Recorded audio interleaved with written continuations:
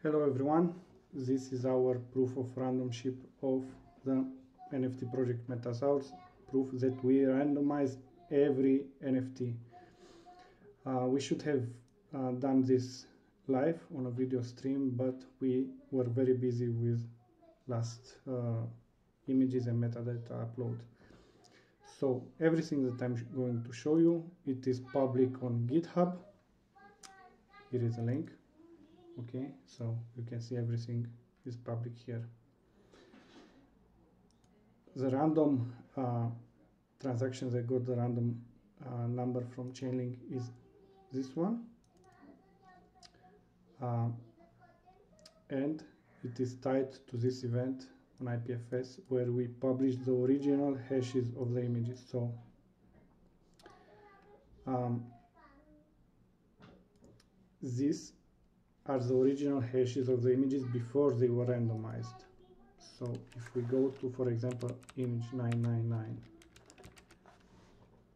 we can see that before being randomized, the, um, the ID, the token ID 999 had this hash, okay? Uh, and this is a random number from Chainlink that landed. Now, this random number has to shuffle an array from 1 to 999. And the way you shuffle an array, there are many ways, but how we did it is this Go script that takes a seed for the shuffling, okay? And um, because this Chainlink number is pretty big, we cut uh, only the first 18 digits of it, and it um, shuffle this array. Every time you run this operation, it will uh, return absolutely the same um, shuffled array. You can try it yourself. And uh, as you can see, the last element of this shuffled array is 279. Now, if we go to the Metasaur 279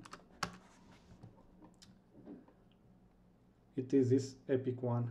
And it makes sense because we added the most uh, epic ones or the most rare ones at the end. Um, so we can ask the smart contract give us metadata from for this 279 okay. We go to the JSON and we see the image. This is the image okay? I've downloaded the image here on my computer and I can run a, uh, a hash on it.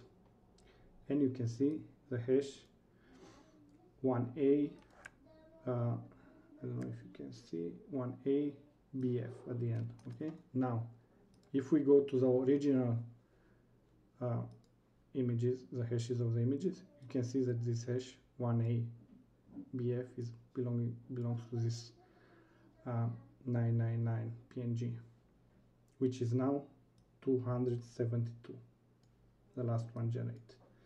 You can, uh, if you don't believe me, you can test all the combinations. Like I said, everything is public and with the links to uh, where it happened on our github repository. If you have any questions um, give us a message or a tweet if you think this uh, method could be exploited by us in any way so we can receive some random numbers. Yeah, give us a tweet.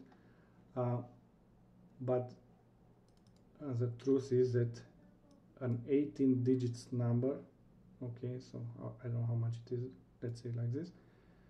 Will always result in this combination. So it's pretty impossible for us to to cheat on this but you, you if if you think something is not uh, correct give us a shout. We are more than happy to discuss. I hope you have a great time and don't forget to like like and subscribe Bye bye.